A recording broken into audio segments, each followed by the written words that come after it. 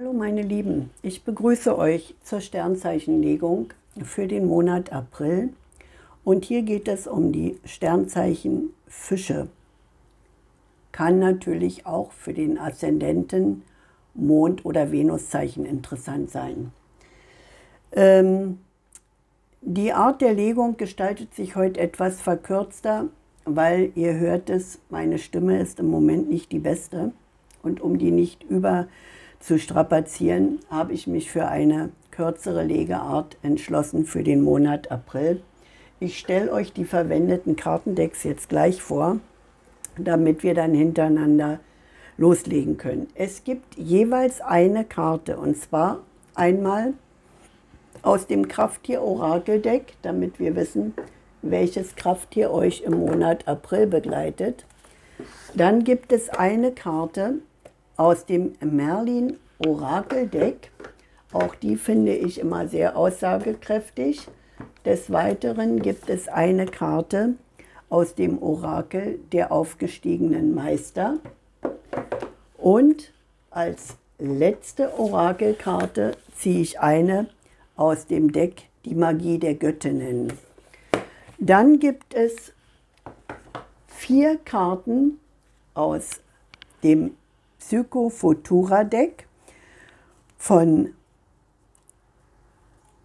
ach, jetzt habe ich den Namen, Caroline, glaube ich. Nee, Carola, Entschuldigung, Carola Winter. Ja, ich habe hier so viele Decks, ich komme manchmal wirklich mit den Namen schon durcheinander da die ja immer benannt werden sollen. Ähm, Carola Winter. Und falls ihr Interesse an diesem Deck habt, das könnt ihr bei Winternet DV erwerben. Und dann gibt es zuletzt noch vier Karten aus dem Epic Light Lenormand Deck von Kesslin Bergmann. Und als krönenden Abschluss ziehe ich noch eine Karte aus dem Seelensterne Deck von Monas Seelensternen. Das sind so ein bisschen auch äh, mit der, an der Astrologie angelehnte Karten. Man sieht ja hier Mars äh, oder das vierte Haus, wie hier, zweite Haus und so weiter. Aber die geben mitunter, gerade bei diesen Monatslegungen, doch immer noch ein i-Tüpfelchen, sodass man da vielleicht noch das eine oder andere gut rausziehen kann. So, ein Zeitstempel bedarf es nicht. Natürlich ist auch das heute wieder eine allgemeine Legung, wie meine sonstigen auch. Das heißt, es kann auf euch zutreffen, muss es aber nicht zwingend. Horcht in euch rein und erkennt, was hier wirklich für euch interessant ist, was ihr, wo ihr euch einfach wiederfindet, ja, wo man sagt, ja doch, das ist so meine Richtung, ich denke, das trifft für mich zu. Ähm, des Weiteren natürlich mein Dankeschön ich habe jetzt mit eurer Unterstützung 1500 Abonnenten und dafür danke ich wirklich von ganzem Herzen all denjenigen, die hier das Glöckchen aktivieren. Natürlich gilt mein Dank auch den Fleißigen, die hier einen Daumen hoch hinterlassen und wirklich bezaubernde Kommentare. Ich staune immer wieder, wie liebenswert ihr manches kommentiert und bin euch auch dafür wirklich ganz, ganz doll dankbar. Und jetzt schauen wir als erstes, welches Krafttier begleitet die Fischegeborenen im Monat April. Da haben wir den Kolibri mit der Überschrift Herzfrequenz. Das Juwel in deinem Herzen beginnt zu leuchten und zu strahlen und schenkt dir neue, beglückende Erlebnisse in der Liebe. Ja, vielleicht wartet auf den einen oder anderen Fischegeborenen im Monat April hier etwas Besonderes in der Liebe. Wir schauen mal weiter. Vielleicht wird das hier noch unterstrichen oder verdeutlicht. Und da haben wir die Karte bei Merlins Orakel, die Mistel. Schutzmagie und Liebesglück. Zauberhafte Naturkräfte hüllen dich ein, tragen dich in den Seelenschrein. Hier findest du Schutz, Stärke, Kraft und eine erhöhte innere Sicht, damit das geistige Licht hervorbricht. Das heißt, du bist hier begleitet, du bist unterstützt, du hast den Schutz, die Stärke, all das wirklich an deiner Seite und kannst mit dieser Schutzmagie dieses Liebesglück, was sich hier auch noch einmal darstellt, erwarten und begrüßen. Also es scheint hier für viele von euch Fischegeborenen ein Monat zu werden, der vielleicht die eine oder andere Veränderung in der Liebe für euch bereithält. Und bei den aufgestiegenen Meistern haben wir die Karte Sorge für dich selbst. Mutter Maria. Ja, in erster Linie sollte dich natürlich diese Aussage auch begleiten. Das heißt, man sehnt sich nicht nach der Liebe, um versorgt zu werden. So sollte es zumindest nicht sein, sondern in erster Linie weiß man, man kommt alleine klar. Aber die Liebe, die macht das Leben eben schön. Die gibt dir einfach das Gefühl, alles leichter packen zu können. Die Karte bedeutet, schaffe ein Gleichgewicht zwischen deiner Fürsorge für andere und für dich selbst. Ruhe dich aus, sorge auch für deinen Körper. Das heißt, bei all dem, was du vielleicht jetzt hier, was hier an Liebe dir entgegengebracht wird, darfst du dich selbst nicht vergessen. Weil im Grunde genommen du dann vielleicht auch so viel geballt zurückgeben möchtest, einfach aufgrund dessen, dass du ja das genießen kannst, dass du das Gefühl hast, ey, das ist so ein Glücksgefühl, ich könnte alles um mich herum vergessen, alles abgeben, jedem helfen, jedem daran teilhaben lassen. So weit sollst du nicht gehen. Das sagt dir hier diese Karte. Vergiss nicht, auch du selbst zu sein. Also das heißt, nicht nur für andere dich sorgen und dich aufopfern, sondern auch einen gesunden Egoismus behalten und sagen, das ist auch für mich jetzt noch wichtig. Und genau so schaffst du es nämlich, die Fröhlichkeit zu erhalten, die Fröhlichkeit in deinem Inneren wirklich bewusst wahrzunehmen und zu erhalten. Wir haben hier die Magie der Göttin Bau, Baubo. Und das ist im Grunde genommen genau die Göttin, die das unterstützt, die sagt, denk an dich, genieße, sei fröhlich. Genau, genieße dein Leben, auch die Liebe. Genieße es in vollen Zügen, aber vergiss dich selbst dabei nicht ganz.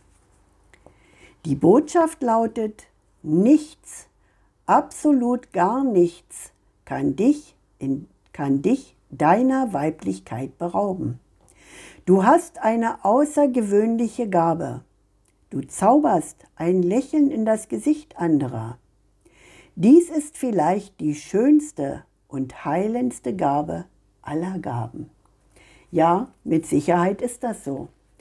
Wenn du durch dein Wesen, durch deine Art andere Menschen ja, wie soll man das ausdrücken? Andere Menschen vielleicht auch aus einem tiefen Tal rausholen kannst, indem du sie mitreißen kannst, sie wieder ja ins Leben zurückholen kannst, wo man sagt, oh, das hat mir jetzt gut getan, dass du da warst. Das beinhaltet diese Karte. Und wir sehen, es ist passend zu sagen, du sollst hilfsbereit sein, du sollst für andere da sein, aber auch immer noch dich selbst im Auge behalten. Hier wartet wirklich Liebesglück auf dich, was nicht alles sich nur auf die partnerschaftliche Liebe bezieht. Liebesglück, was sich hier auch darstellt, ist im Grunde genommen auch das, an Liebe, was andere Menschen dir dankbar entgegenbringen. Auch das sind Zeichen der Liebe. Die Psychofutura-Karten zeigen hier die Karte Verteidigung. Vielleicht ist der eine oder andere in einer derartigen Haltung, dass er meint, er muss sich gegen irgendjemand verteidigen. Oder aber auch sich für seine feste Beziehung einsetzen. Das heißt, vielleicht musst du hier auch deine Beziehung verteidigen. Mit anderen Worten kann es bei dem einen oder anderen von euch auch sein, dass von außen sich Menschen in eure Beziehung einmischen. Ihr habt hier das Liebesglück. Ihr habt hier die, die Aussage, dass es wirklich bei euch um wunderbare Situationen auch im Liebesbereich gehen kann. Aber man sieht ja hier, vielleicht müsst ihr diese Liebesbeziehung verteidigen. Vielleicht kommen von außen Menschen oder Situationen auf euch zu, die euch auffordern, das Ganze zu verteidigen. Und da sind wir wieder bei dem, was ich immer sage, bezieht die Liebe nicht immer nur auf die partnerschaftliche Liebe. Es kann hier auch eine Liebe sein, die ihr für eine gute Freundin empfindet, die vielleicht von außen angegriffen wird und die ihr verteidigt, die ihr verteidigt und damit verhelft ihr dieser Person zur Heilung. Genau das ist hier auch wieder die Überschrift. Heilung, Sorge auch für dich, Sorge auch für dich. Aber wenn du merkst, dass deine Hilfe benötigt wird, dass du es schaffst, jemand aus dem tiefen Tal rauszuholen, dann sei für denjenigen da. Verteidige diese Beziehung und verhilf dieser Person zur Heilung. Verhilf ihr zur Heilung und unterstütze das Ganze. Und da ist genau die Karte passend, andere unterstützen. Genau darauf läuft es hier bei euch, bei den Fischegeborenen hinaus. Ihr seid im Monat April aufgefordert, wirklich um euch herum zu sehen, wer wirklich eure Hilfe, eure Zuwendung, eure Liebe braucht. Es ist, wie ich schon erwähnte, nicht immer der Partner. Es kann ein Familienangehöriger, ein guter Freund sein, der euch wirklich braucht, um hier aus einem tiefen Tal der Traurigkeit rauszufinden. Seid für ihn da. Vergesst euch selbst nicht dabei.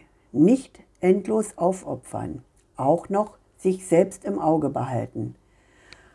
Aber verteidigt nach außen hin auch diesen Einsatz, den ihr da bringt. Er wird vielleicht von dem einen oder anderen kritisiert und man sagt, meine Güte, was hängst du dich da so rein, dem ist nicht zu helfen. Mm -mm. Bleibt dran. Bleibt dran und vertraut darauf, dass es möglich ist, demjenigen wirklich heilend zu unterstützen. Das ist hier die Aussage der Psychofokura. Und jetzt schauen wir, was die Lennemore-Karten hier noch bereithalten. Ja, das wird ein aufregender Monat, denke ich. Ihr könnt hier weise Entscheidungen treffen. Ihr werdet es auch weise erkennen, welche Wege, welche Art die richtige ist, um für andere Menschen da zu sein. Und ihr werdet erkennen, welche Art der Verteidigung notwendig ist, um diese feste Beziehung hier zu heilen. Und wir sehen hier das Ganze wirklich bestätigt. Ihr werdet durch diese Verteidigung, durch diesen Einsatz, den ihr hier bringt, einen Lebenszyklus beenden. Einen Lebenszyklus, der vielleicht auch für den einen oder anderen von euch erschwert war. Das heißt, hier war vielleicht einfach auch so eine Situation, wo ihr gemerkt habt, ich komme hier auch langsam an meine Grenzen. Ich verteidige denjenigen gerne, er ist mir wichtig. Aber ich muss auch noch an mich selbst denken.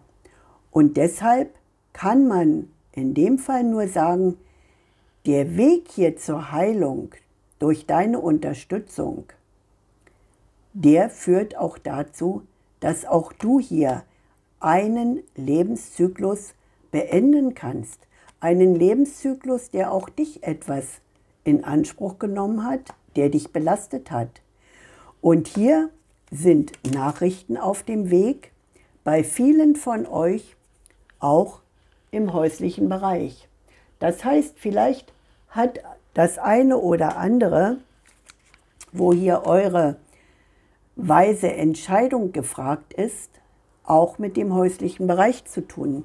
Das heißt, vielleicht entscheidet ihr euch für irgendeinen Wechsel im häuslichen Bereich, für einen Umzug, für eine Veränderung. Auf jeden Fall wird das Ganze in Gang gesetzt, auch durch Nachrichten. Das heißt, ihr werdet hier erkennen, jetzt ist der Zeitpunkt, wo ich ins Handeln kommen muss. Und diesen Lebenszyklus zum Ende zu bringen. Jetzt ist der richtige Zeitpunkt. Und der Hinweis dieser Karten von Saturn deutet darauf hin, all das Gesagte wird besonders wichtig und entscheidend sein für jeden Samstag in diesem Monat April. Das ist im Grunde genommen der Hinweis genau da dann, Organisation, Organisation Pflichten, zieh es durch. Genau dieser Hinweis ist passend hier zu dem, was gesagt wurde. Sich kümmern, auf dieses Liebesglück vertrauen, es auch annehmen, sich selbst aber nicht vergessen, aber andere mitreißen, rausholen aus tiefen Situationen. Das Ganze auch verteidigen und weiter dran festhalten an dieser Beziehung, denn damit kommt es zur Heilung, wenn du bereit bist, andere zu unterstützen. Und hier habt ihr noch einmal das Ganze unterstrichen. Zieh es durch. Und das mit dem Hinweis, dass ganz entscheidend jeweils der Samstag in dem Monat April für euch entscheidend sein wird. Meine lieben Fische, ich wünsche euch einen fantastischen Monat April und freue mich, wenn ihr auch beim nächsten Mal wieder dabei seid. Alles Liebe für euch. Bis bald.